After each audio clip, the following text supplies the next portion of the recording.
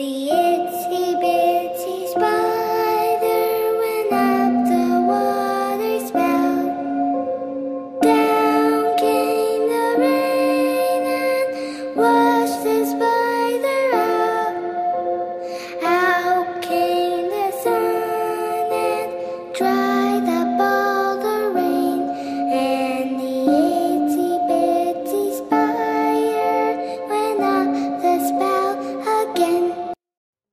For another Halloween look this year, I'm showing you how I created this spider liner eye look.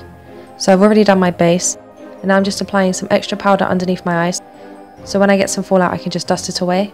I'm taking my Huda Beauty Warm Brown Obsessions palette, and I'm taking this shade here, and I'm blending it in my crease as my transition shade. It's a very warm orange type of shade.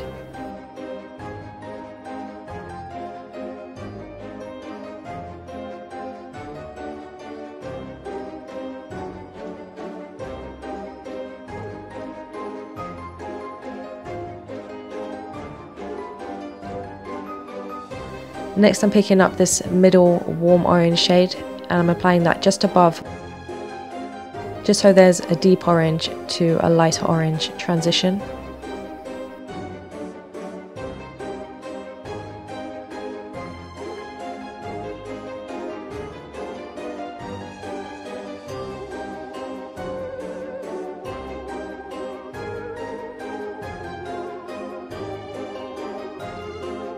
The third shade I'm going to use is this deep purple brown. It's my favourite shade from the palette and I'm packing that on my lid with a flat brush.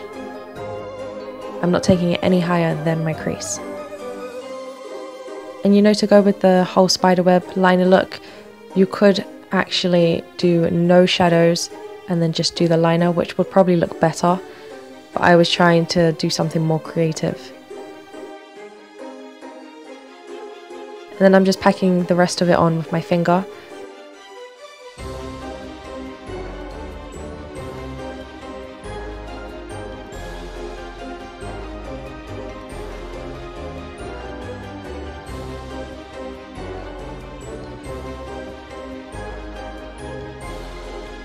And then I'm just going to take a fluffy brush and I'm just going to blend out the edges. Now I'm dusting away the fallout from underneath my eyes and that powder really saves the day if you're doing your face first and then your eyes. The liner I'm going to use is this pen liner by iMagic. It says it's waterproof and I've used this liner many times and it is my favourite liner. So I'm just creating a simple line above the top of my eyelid. I'm not going to go too thick and then I'm just going to add a wing as well.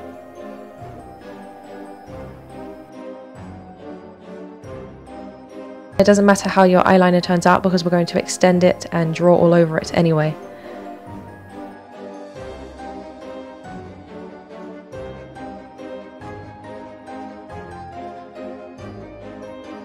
Now I'm taking my Maybelline gel liner and I'm going to use that in my waterline and I'm creating a point in my inner corner.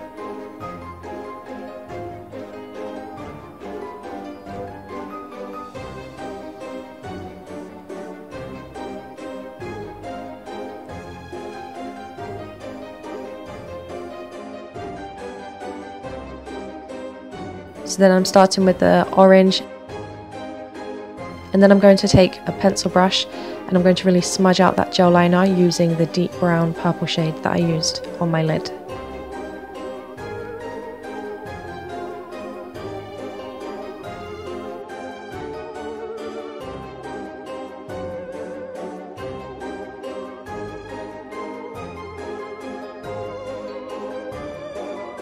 Then I'm applying some bottom mascara and I'm starting with my wing. So I'm going to extend the wing that I've drawn. And now I'm just drawing lines going from my brow to my liner. And you want to keep it thick at the base and kind of thin at the edges.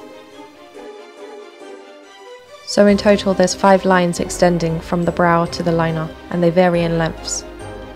You can pretty much see what I'm doing. They don't have to be straight, I'm actually doing them kind of curved. It really depends on how you want them to look. So this is my first time attempting to do any type of creative look with liner other than eyeliner and it is quite tricky. But I have to say because I was really focusing and my pen was really tilted backwards, it was running out of ink quite often so I had to shake it up quite a few times. Other than that, I'd say this look is pretty easy and you do want to use a type of pen to do this. You don't want to use gel liner to try and do this. You want something that can create very thin lines and very thick lines when you need it. So as you can see, the pen is running out of ink because I've had it tilted backwards for an extended amount of time. So just shake it up, give it a second, and then work with it. Now you're going to see me clear up some of my mistakes. If you make any mistakes, it's quite easy to erase it. All you need to do is just use a cotton bud and some micellar water or even a wipe and just clear it up. You might need to retouch your eyeshadow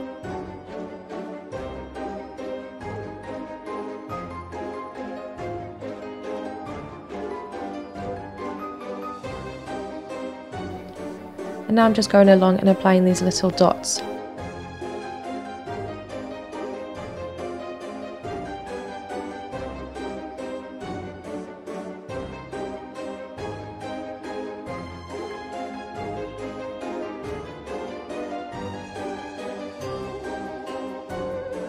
and then I'm going to go underneath that and apply the next layer of the webs.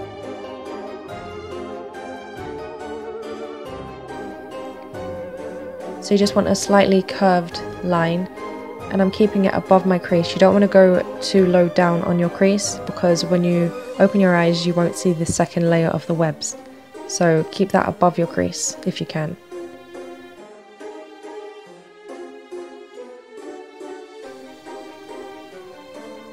And then I'm just adding those connecting dots in between.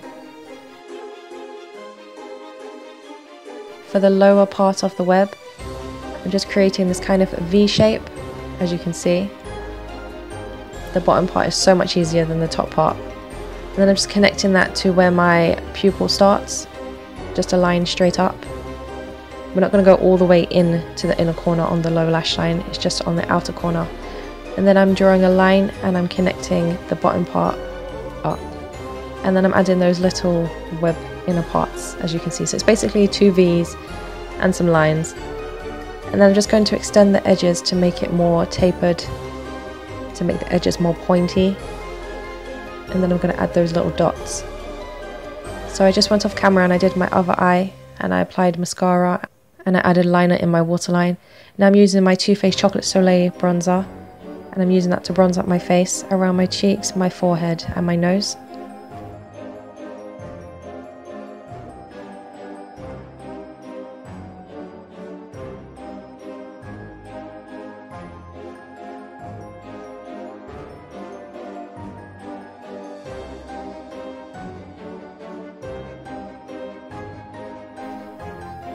And then I'm using my Becca highlighter in Pearl. I like this highlighter because it's a very frosty, cool toned type of highlighter. And then I'm applying my liquid lipstick by Lime Crime in Cement. I like this because it's a kind of contrasting a warm, cool look. There are many ways you could have done this look. If I was to do this again, I could probably do like a glossy lid with no eyeshadow and then the web